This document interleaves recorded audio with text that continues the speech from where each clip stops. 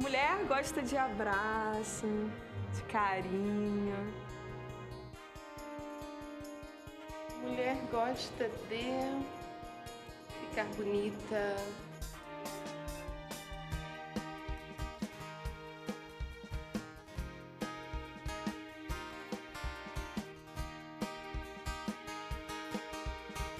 A gente quer ser feliz. Mulher quer ter o seu espaço.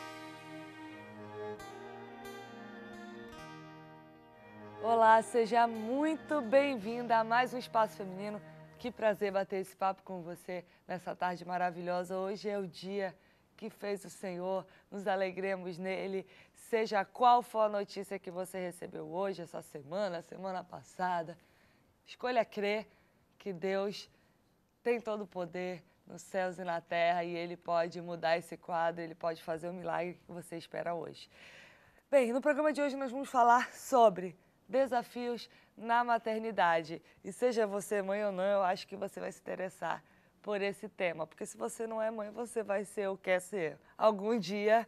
Então, o programa hoje vai ser muito especial. Para conversar aqui comigo, eu tenho a Priscila Crispim, que é psicóloga, seja muito bem-vinda. Um prazer estar aqui novamente. Estava com saudade. É né? verdade, Vamos tinha um tempo já. finalizar, né? E o Tito, gente, na O barriga. Tito chegando. Olha aí só. Ela tem os desafios de mãe e ainda tem desafio de grávida para falar. aí. Verdade, verdade. Muitos desafios. Seja bem-vinda mais uma vez você e pela primeira vez o Tito. Obrigada.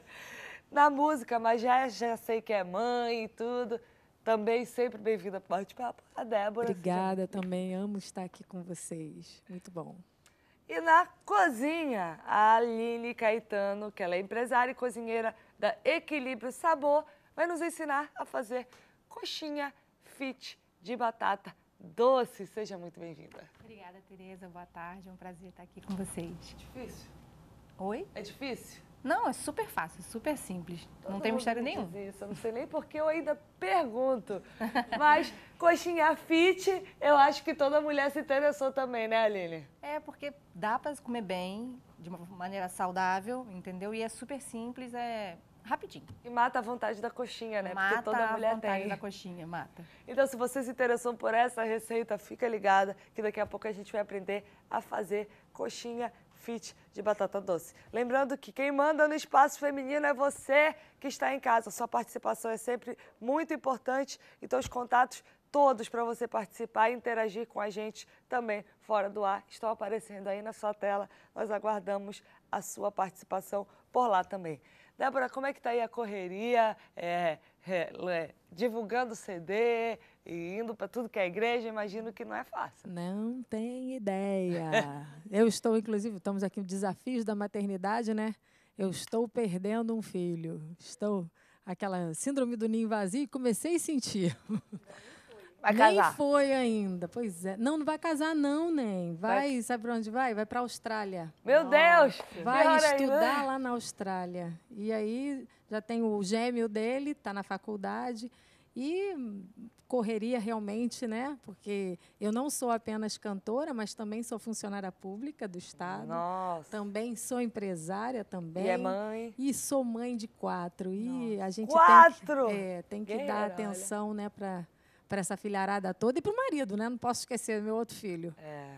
que é realmente é, é desafiador, né? Mas dá para fazer. Dá, Deus, Deus nos dá, né? Deus nos capacita, não é isso? Mulher, ele não dá, ele não dá para a gente fazer nada além do que a gente pode, eh, tem a capacidade de fazer. E, ele além de tudo isso, capacita. ainda consegue estar linda assim aqui. Oh, Deus. é. Só Jesus, né? Vamos ouvir então a voz abençoada da Débora cantando a música Alicerce da Fé do CD Manancial. Vamos lá, Débora.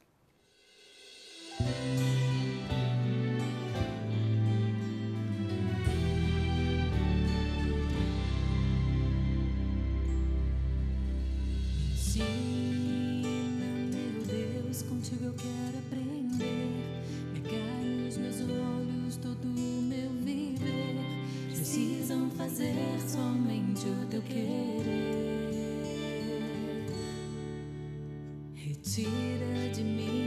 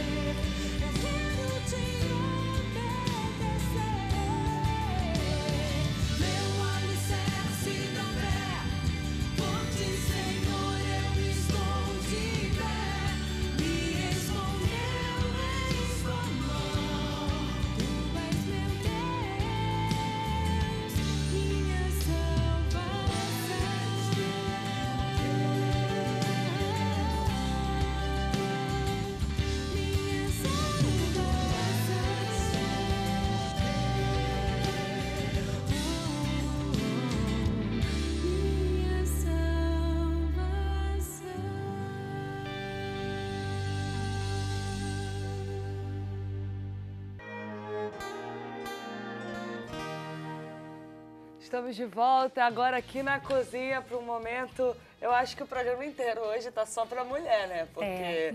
desafios da maternidade, coxinha fit, que isso? Mas ó, não é difícil, de acordo com a Aline. Não. E é fit, gente. Quer ouvir coisa melhor, mulher? É verdade. Isso, pelo amor de Deus. Pega então um papel, pega uma caneta e anota aí o que, que a gente precisa para fazer coxinha fit de batata doce.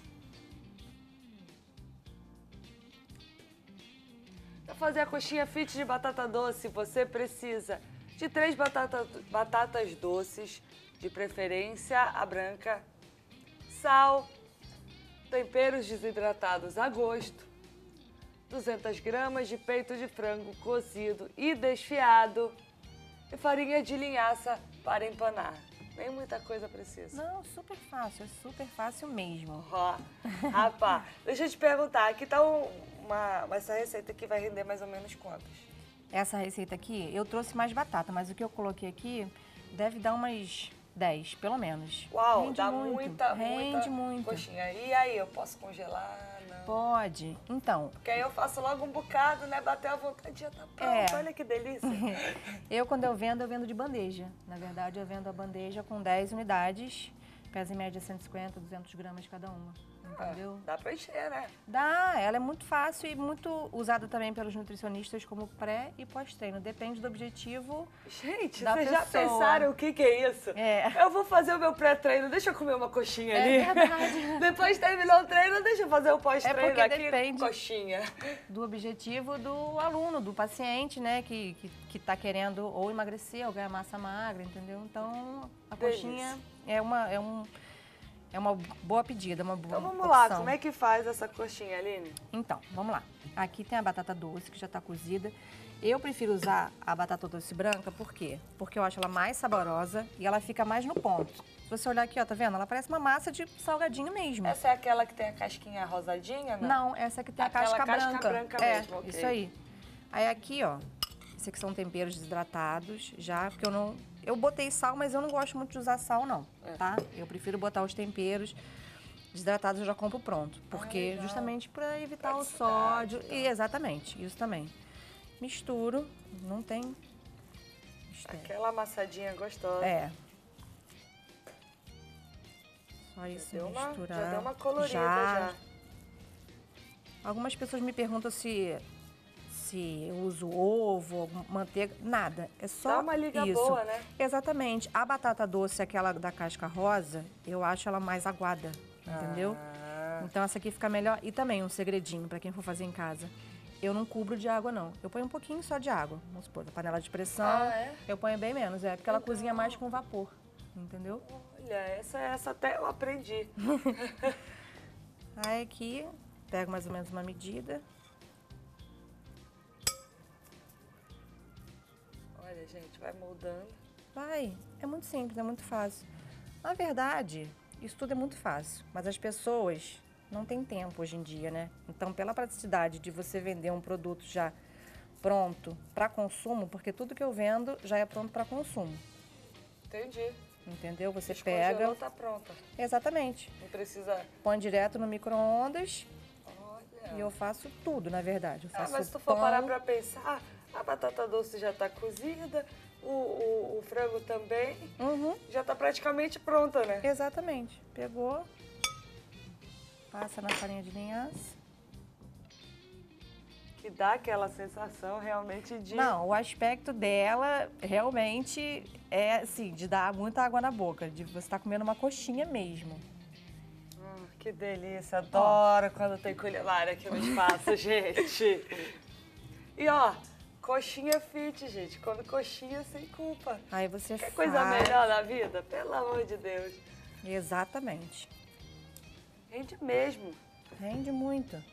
Olha, ela pega um pedacinho só de batata. É, é que eu gosto de trabalhar com bastante recheio. Não, mas é isso aí que é o segredo, ó, bastante recheio.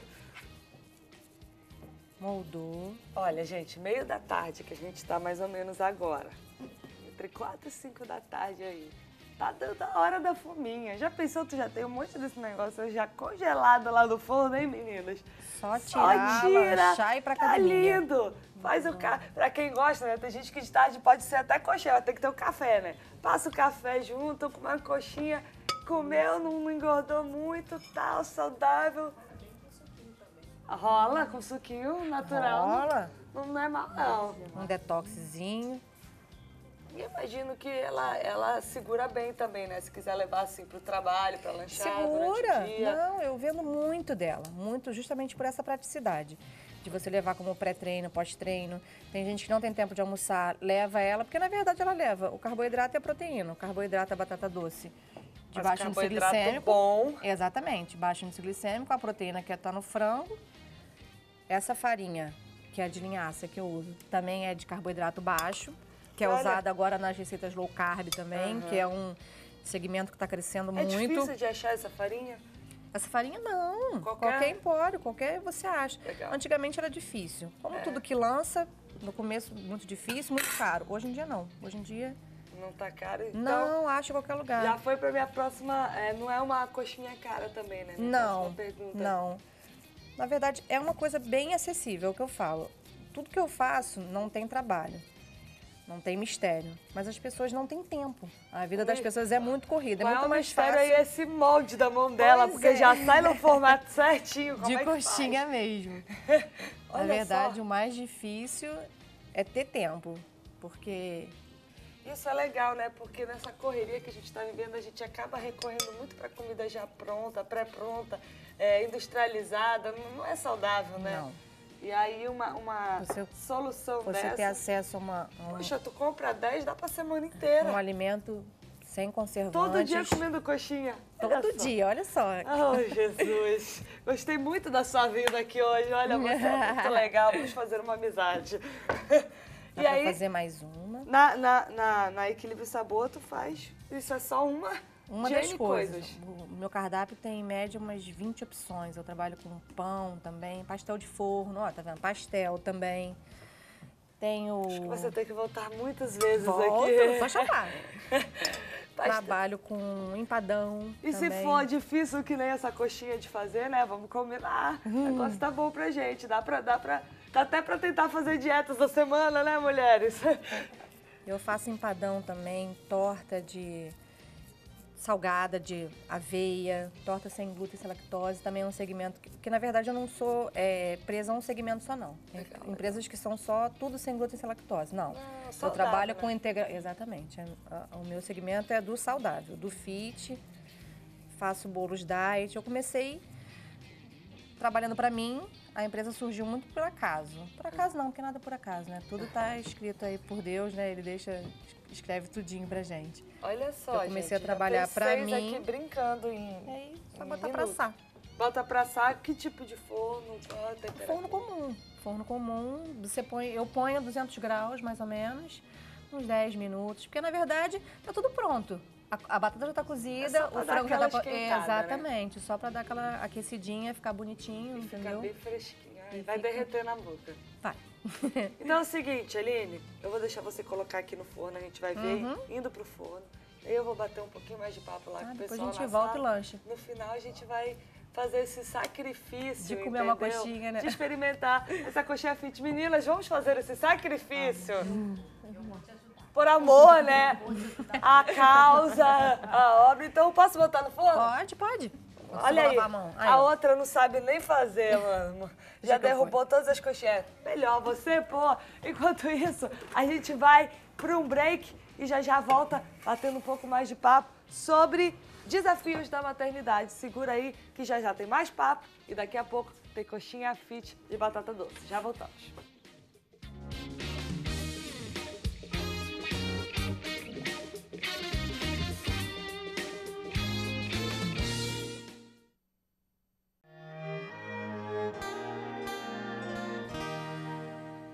Estamos de volta com o Espaço Feminino. Deixamos a nossa coxinha lá assando. Eu descobri que a Aline é mãe, então eu chamei ela também para melhorar aqui a nossa sala, ficar mais florida. Ela ficou mais tensa quando eu pedi para conversar do Foi. que quando foi para ensinar. Porque a cozinha é o meu ambiente. Aqui eu já fiquei nervosa. É mãe, relaxa. Tem Ah, quatro mães mãe. aqui para bater papo. É. A gente está falando hoje sobre os desafios na maternidade, mas antes de eu bater esse papo com vocês, eu tenho um recado aí para quem está em casa. É, agradecer pessoas que investem em mim, na minha aparência física, para eu estar bonita para vocês aí em casa. Então, eu gostaria de dar umas dicas para você. Se você está procurando aí é, algum tipo de procedimento odontológico ou alguns procedimentos estéticos também, é, dá uma olhada aí na- no Instagram da Estúdio 3 Odontologia, especializada. Lá você encontra bichectomia, é, botox, vários procedimentos estéticos e odontológicos. Eu recomendo, procura lá, arroba Estúdio 3 Odonto.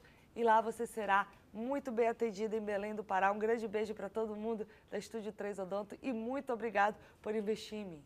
Também tem a clínica de estética que já cuida também do corpo inteiro agora, né? Que, poxa, vamos falar sobre desafios da maternidade. Aprendemos a fazer coxinha fit, tem que cuidar do corpo também, né? Na pele, é, clínica na pele de estética.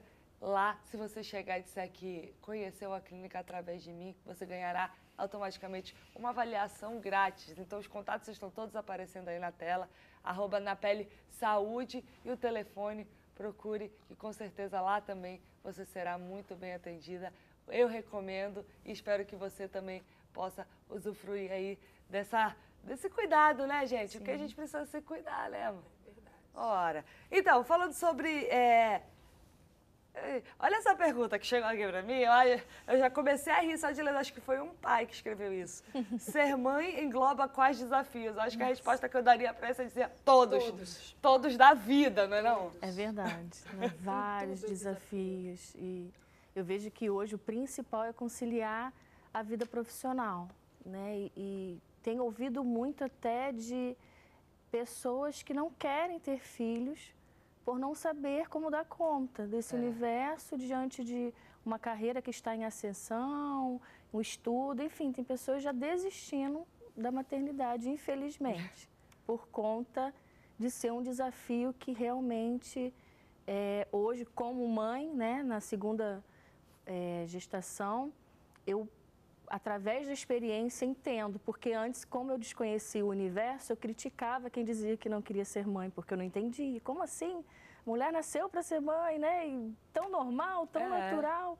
E hoje eu entendo, porque realmente fica uma linha muito tênue, Tereza, entre um medo que pode gerar um pânico e essa alegria transbordante, né? E aí a gente vê algumas tendo depressão pós-parto, não sabendo conciliar a vida que a mulher já tem, que hoje englobam vários aspectos e parar. Acho que essa pausa, né, que nossa, mas vou ficar tantos meses ali dedica- dedicando a maternidade integralmente, como é esse parar?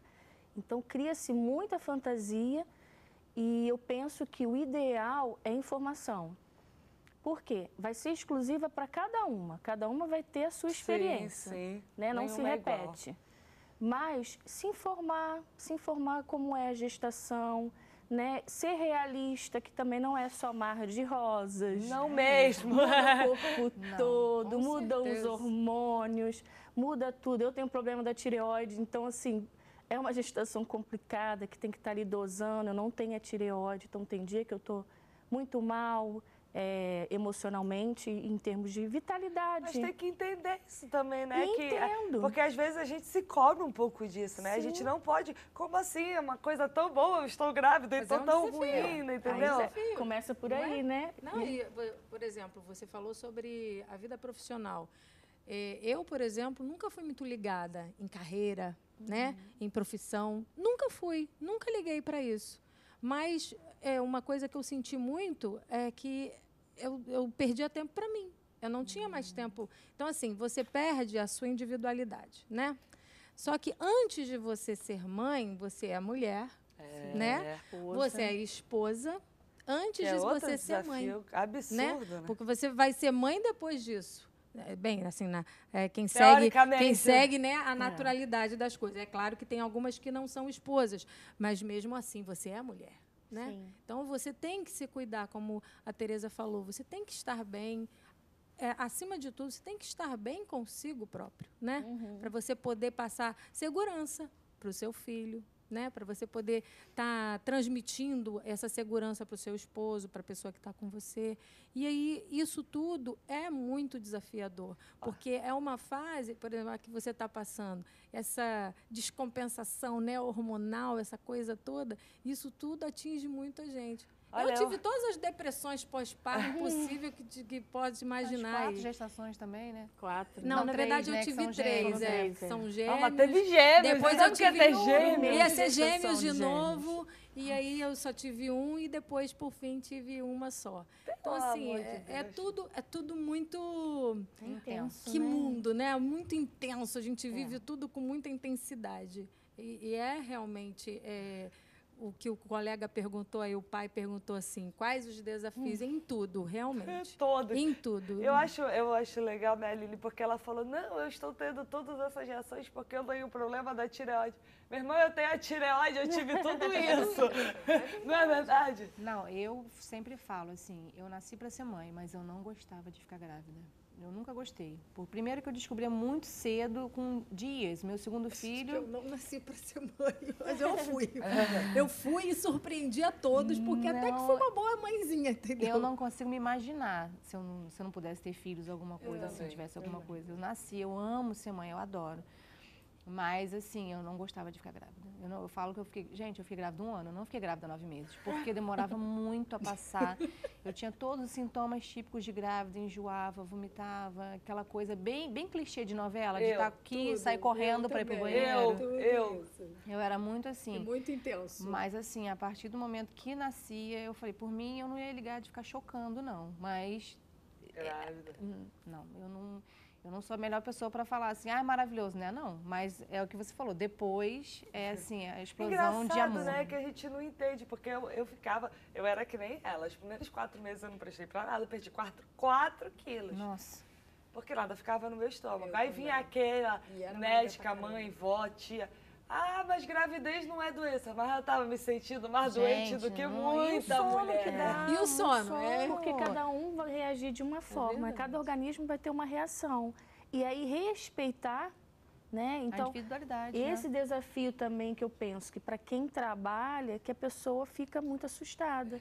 Porque pode ser uma gravidez excelente, como eu conheço, uma amiga que está tendo Morrer, perto de né? mim. Uma grávida não, enjoou, nada. não é. sentiu nada, é. trabalha na cozinha. Eu, aí eu fico mais deprimida ainda olhando para a pessoa. e entendeu? eu, né, tô lá nas minhas crises, né? Quando o hormônio baixava, eu terava eu lá na minha crise prostada, sem conseguir trabalhar, falando, mas eu tenho que me respeitar, porque eu sou diferente, eu tenho né, uma questão que precisa ser Sim, cuidada claro. e aí cada um com o seu particular. Claro. Né? Às vezes uns têm problema de saúde, outras têm que levar uma gestação toda deitada.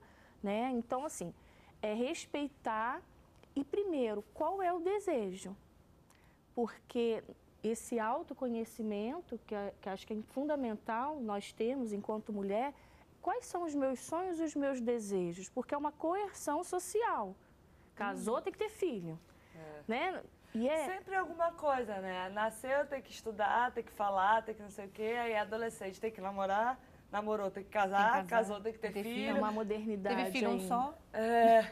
Nunca Aí teve acaba, né? três. Né? Ué, mas isso tudo? É. Pois é. Então tem. Quatro cruzes? É. Verdade. O importante é, é, ter essa percepção, né? O que eu quero, o que, que me realiza, o que, que me faz bem. Eu pensei muito, até talvez tardiamente, né? Meu primeiro tem cinco. E eu estava certo que ia parar nele. Não queria mais, estava bem. Com os três anos de idade começou. Quero mais um, não quero. E eu sempre me imaginei com dois.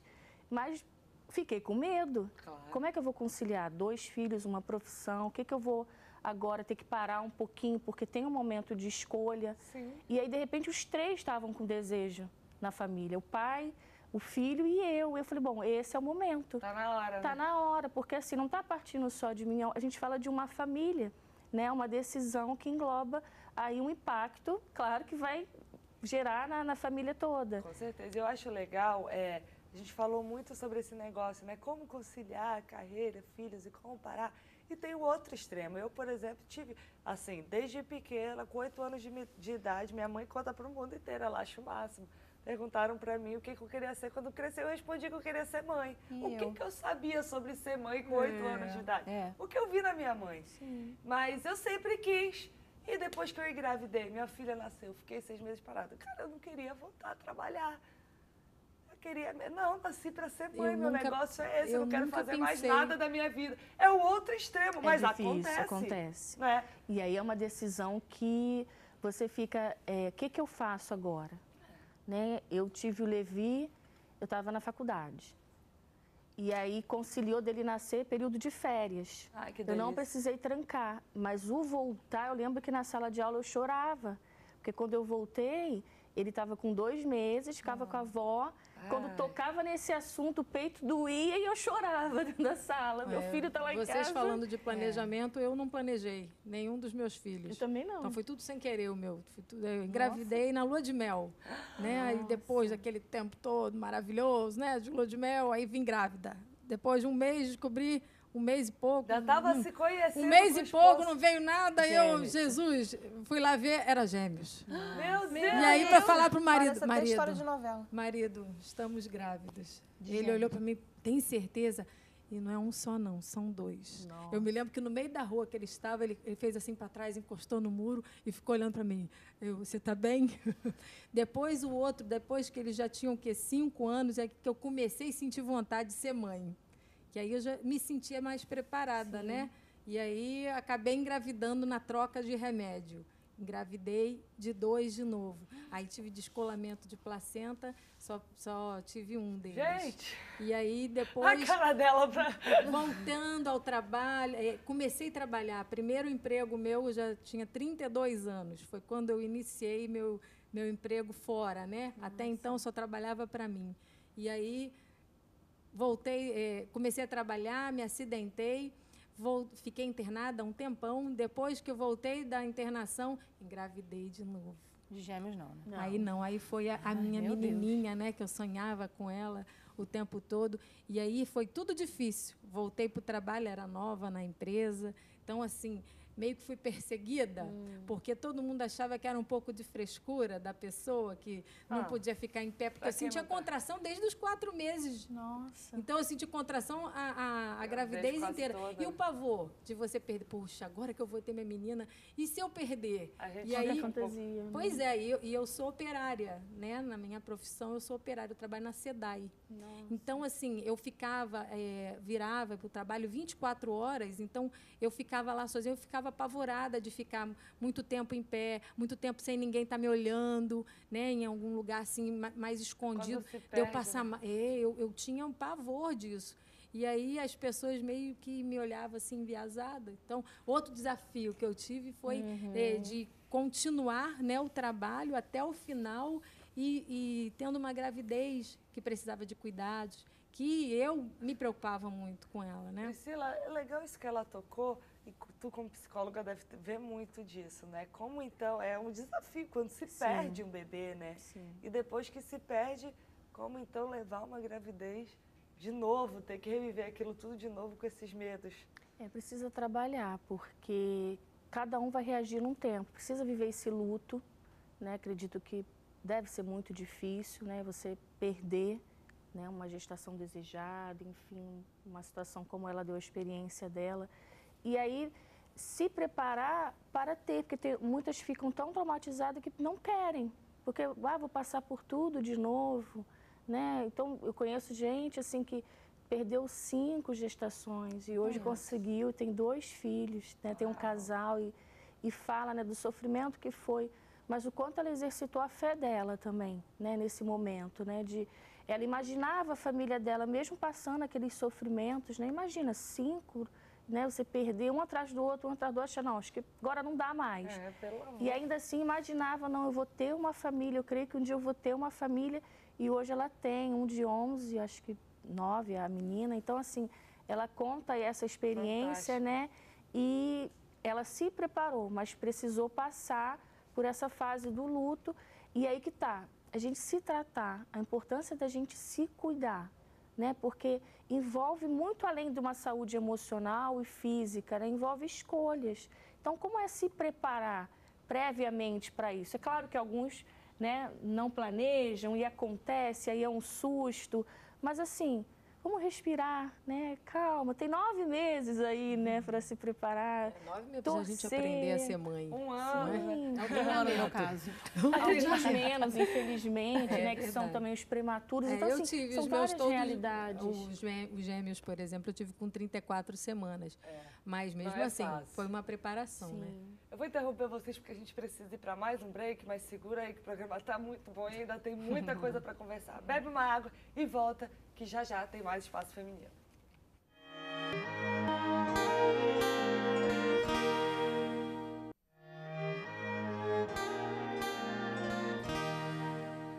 Voltamos, Espaço Feminino, e o papo está muito legal hoje sobre desafios da maternidade. Mas como é que o papo tá bom sobre desafio, né? Não sei, gente.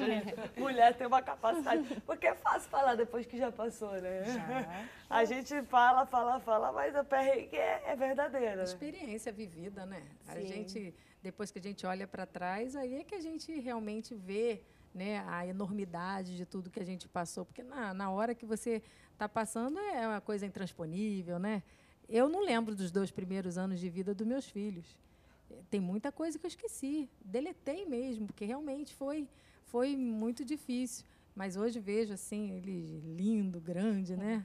Tá ali atrás esperando a gente. Esse vai para a Austrália? Esse é o que vai para a Austrália, é, o filha. solteiro. Tá sofrendo desde agora, olha aí. É, eu, eu nem posso falar muito na frente dele, porque eu agora dei para falar e chorar. Antigamente eu não estava sentindo Tá isso. perto, Ah, mas né? é coisa de mãe. Agora coisa estou, de... está assim caindo a ficha, né? Estou pensando no negócio, mas é, realmente é tudo. Então, mudando de assunto da viagem da Austrália para aqui não sentir demais, eu acho interessante a gente começar a falar um pouquinho também.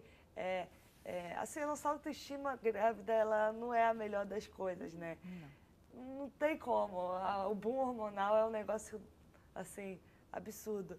E, então, a gente, é como aproveitar essa fase. Olha aqui como ela tá uma grávida Tá bonita, gente. tá se Estou linda. ouvindo muito isso Graças e fico feliz. É, que a gente não se acha nem um pouco, né? É a importância de se feliz. cuidar, né? De se arrumar pra... Sim, de, se- de se sentir bem de alguma forma, porque tem toda essa limitação física, né, de vestuário, de, enfim, de salto, mas Até o E- sapato, né? Depois de um sim, tempo já não dá para ficar de salto, né? Você já começa a ficar realmente limitado. Então, assim, o que que dá para valorizar, né? O rosto. Vamos valorizar o rosto. Daqui pra cima, altura cá, também, até o a rosto sua muda. altura, né? Que você é mais alta, dá para valorizar muito. Até o rosto muda, né? É Muda. uma loucura. O cabelo fica muito bonito. Meu cabelo ficou lindo quando eu fiquei grávida. Eu cortei, Nossa. né? Acabei com as químicas, então eu cortei Ah, eu radicalmente. cortei também na primeira E gravidez. aí foi outra mudança, porque eu iniciei a gestação já com um novo Ele look. tá Eu fazendo a transição dele. Ele era, muito ele era liso. Eu passava né, produtos, né? Então ele estava começando a parar e estava cortando aos poucos. Mas aí com a gravidez eu radicalizei, cortei. É, ai, Falei, não, vamos começar coragem algo novo mudança. aí e, É uma mudança e mudar mesmo, né? E foi muito bom porque, assim, apesar de, do desconforto, é, eu trabalhei até o que eu estava planejando, né? Então, agora já estou em casa, repousando, né? Já estou entendendo que tem que parar, que tem alguma hora que a gente, né? Alguns chegam até o É final, melhor, às outros... vezes, até parar um pouquinho Sim, antes, eu né? parei Pra se mês passado. Porque senão tu já para no olho do furacão. Aí E eu trabalho com pessoas, né? Então, se eu não estou bem, como é que eu vou estar atendendo o outro de um, com qualidade? Né? Muito cansaço, muita falta de ar, você está ali atendendo o outro. Eu não acho isso coerente. Então, comecei a avisar que não, vou parar em novembro, né? Dou um auxílio pelo, pelo telefone, se for necessário, mas alguns ficam à vontade para procurar outro profissional, porque é um tempo grande, né, para o É, meu isso é mais fácil quando trabalho. a gente trabalha pra gente, né? Sim. Eu, no meu caso, eu, eu não podia nem parar muito antes, porque eu ia tirar o tempo de estar com, com ela, com o bebê. Então, assim, é, é, na, na minha época, então, era só quatro meses de licença. Foi, a última foi a que menos aproveitou. Dá uma dó, né? Tinha Que trabalhar até os, não os consegue dias nem- de nascer quase para ter mais tempo Pois depois da é, criança. eu né? trabalhei até 15 dias antes, mais ou menos. Meu primeiro eu foi já assim, não estava mais foi até aguentando 15 dias já. também. Aí tive que parar para poder, mas parei porque o médico mandou, não dá mais para você ir.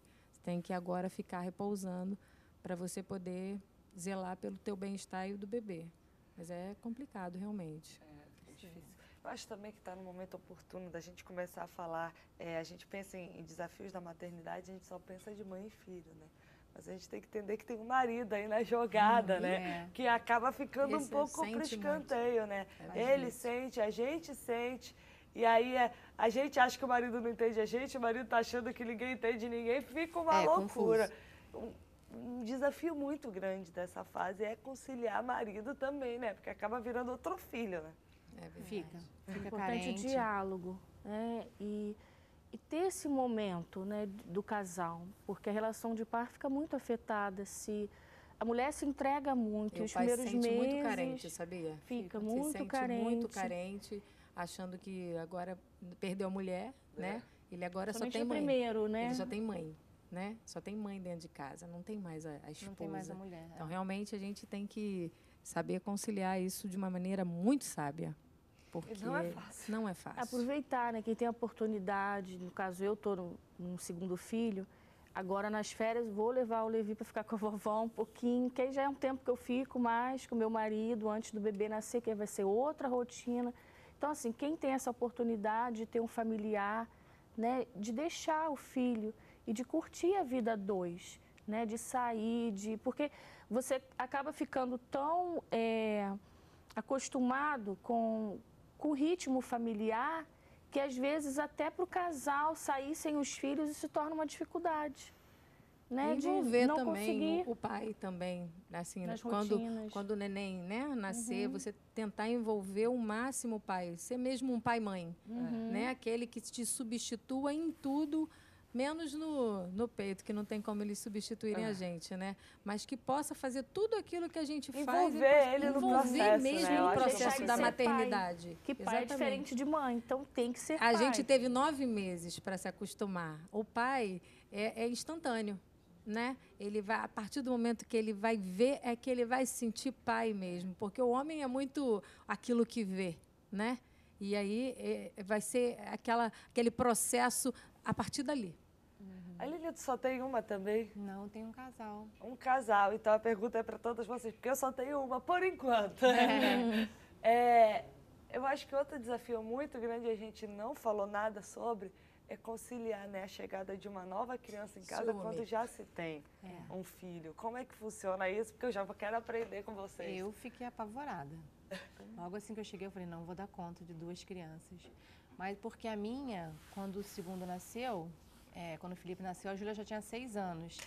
Então, assim, fazia tudo sozinha, mas era uma criança. Sim, entendeu? seis anos é criança. Era uma criança e que regrediu, deu aquela regredida, uhum. entendeu? Porque ficou é, um bebê até então ela era, ela foi a primeira neta das duas partes da família, primeira sobrinha, afilhada, tudo, né? o mundo era da Júlia, entendeu? E de repente veio o Felipe e uma criança que assim, meu filho ele era hiperativo, então principalmente com um ano, assim, quer dizer, ela estava com sete, ele com ele, ele consumia muito trabalho, muita energia da gente, porque ele não podia ficar sozinho um minuto. Eu tinha medo do meu filho morrer dentro de casa, porque não, ele era requer um cuidado. É, ele foi medicado, levei ele, ele fez tratamento, tudo. Hoje em dia não, está com 15 anos, está tranquilo, ninguém diz. Mas na época, então assim, ela ficou um pouquinho assim de escanteio aquela coisa conciliar isso é muito difícil. Na época a gente também fez um tratamento no psicólogo com ela, comigo também, porque eu não estava conseguindo administrar legal, mas depois deu tudo certo. O meu segundo, quando nasceu, os gêmeos também tinham seis anos, igual a você. É uma diferença. E aí, na porque... verdade, assim, eu envolvi muito eles no tratamento do irmão. É, Ajudava a, trocar também. fralda, pegava uhum. tudo que é. tinha que pegar, eles iam lá pegar. Sempre foram muito bonzinhos legal, legal. nesse ponto. E só quando a menina nasceu, eu acho que eles sentiram, sentiram. mais do que quando o menino nasceu, do Porque meio. tinha um desejo de ter uma menininha, não né? sei, eu acho que é por isso. Ele, né? Até é hoje ele não sabe me dizer. É. Até hoje ele não sabe me dizer por que, ele sente esse tanto filho para sentar aqui com a gente. Ele não sabe dizer porque sente tanto ciúme dos mais novos, entendeu? Mas rola, né? Tem aquela coisa de você contornar. E eu vou te dizer, quanto mais filho, mais trabalho Ah, você tem, tá? Os dois filhos é legal. Tá bom, é né, legal você tive um administrar isso, porque essa quantidade de filhos é complicado. Você tem que dar um tempinho para sair com os grandes, tem que dar um tempinho para sair com os pequenos, verdade. tem que dar atenção para um, para outro, tem que se interessar, se envolver na vida de um e do outro, para você poder estar mostrando né, que todos eles são tão importantes para a gente, é, tem a mesma importância para a gente. E, e isso, às vezes, não, não, assim, não bate muito bem na cabeça deles, não, não encaram isso com uma forma tão madura. Como é que tá o isso que é importante preparativo para conversar. isso, né? É. Então, quando nós decidimos, eu parei de tomar um remédio, eu comecei a falar para ele. Ó, daqui a pouco vai chegar um bebê, a mamãe vai ficar grávida. Só que demorou um ano para eu engravidar. Não foi tão Não foi rápido. Foi rápido. E aí a criança não tem noção de tempo, ele começou, mamãe, cadê o irmão? Cadê o bebê? Eu falei, calma, meu filho, vai chegar. É, a ansiedade atrapalha o processo, né? E ele, tá demorando muito, compra pronto. Porque... Falei, "Mas não dá pra Adoro comprar." criança, Eu gente. falei, não dá para comprar pronto, tem que esperar. Aí, quando eu engravidei, na verdade, antes de eu engravidar, Levi foi o primeiro a saber. É, semanas antes de eu descobrir, ele- eu falei, bebê, você está preparado? Levi, você se preparou para receber o irmãozinho a irmãzinha? Ele, não, mamãe, ainda vou se preparar, tá? Ainda vou. Aí, então você se prepara, que acho que eu já estava sentindo também, né? Que a qualquer momento vai chegar, a mamãe vai ter a notícia do bebê na barriga. E aí um dia ele me chamou e falou, mamãe, vem cá, quero te mostrar um desenho. Aí mostrou quatro bonequinhos, falou, eu, você, papai e o bebê. Oh, E uma nave comigo. espacial, né? Que aí, é- aí eu não entendi nada. Eu falei, então você está preparada? Ele, agora tô. Semanas depois eu descobri a gestação. Então, assim, ele foi o primeiro né, a ter ali a sensação da gravidez. E no início deu uma regredida, que é normal, porque a competição é o ciúme, ficou irritado, porque ele é o foco, né? Cinco anos ali sendo o centro né, da nossa atenção. Ele era o único também?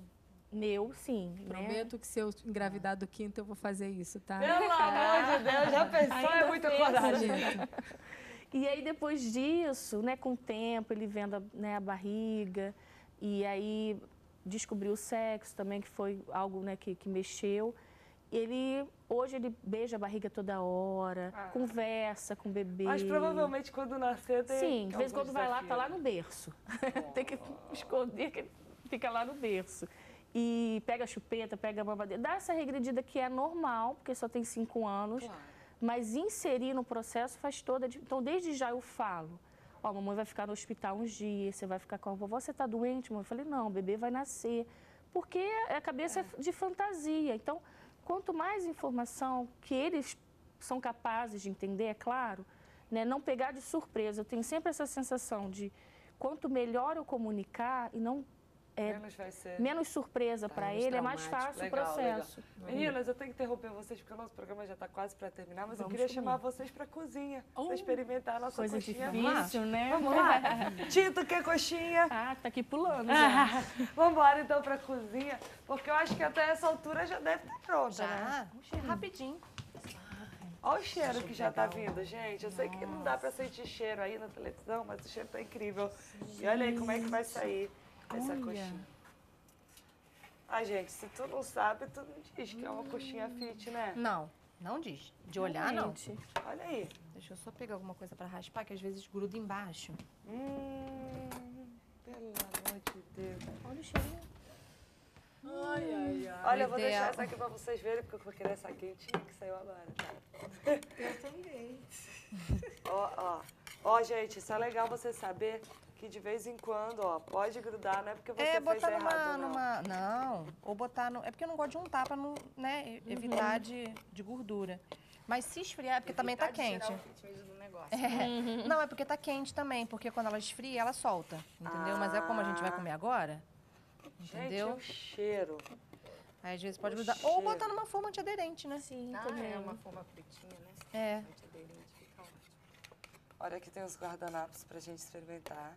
Por favor, serve primeiro a grávida, porque eu não quero problemas. Não quero Tita com cara de coxinha. Pode pegar. Primeiro, ó. Nossa, coisa difícil, né? Você também, né? Claro. É. Vai fazer esse sacrifício, né? Falando em filha, minha filha ela faz faculdade lá em Niterói, né? Aqui no Rio de Janeiro. Aí ela às Vou vezes fica uma gente. semana sem vir. Quando ela vem, o que, que ela leva? Coxinha. Tu já tem o Não estoque. Tu sal? sabe Já- que ela não, vem. Não leva sal. Gente, Sabe que ela vem, já deixa lá o estoque. Já ela vem, ela já vem com a listinha de compra dela, entendeu? É isso? O único sal Mas que tem é do, é do tem. tempero. Não, é, o, é esse tempero desidratado. eu Parece já que dá um compro. salzinho. é. Gente. Aí eu nem uso sal Que mesmo, é que esse? delícia. Eu compro pronto já. Esse, esse Adorei. tempero. Nossa, mas é muito Não bom. tem sal. Não. O Como? sal que eu uso é muito pouco no- só no frango, mas na batata não. Eu não ponho sal, não. Você viu, eu fiz aqui na hora. Cara, impressionante. E fica muito gostoso. Muito, muito Ele vem gostoso. mistura? Você tempero? Vem, mistura pronta já. Eu quero essa receita e se você também quiser, daqui a pouco ela vai estar lá no nosso site. Esse programa vai estar lá no nosso YouTube. Gostou? E os contatos da Aline tiveram na tela aí. Fácil, muito simples. Durante todo o preparo. A gente vai ter que terminar o espaço por aqui. Vamos terminar com música. Eu posso te A interromper? pessoa vai cantar, vamos lá. A música é Obra em Construção, do CD Manancial, de Débora William. Um grande beijo e até o próximo Espaço Feminino.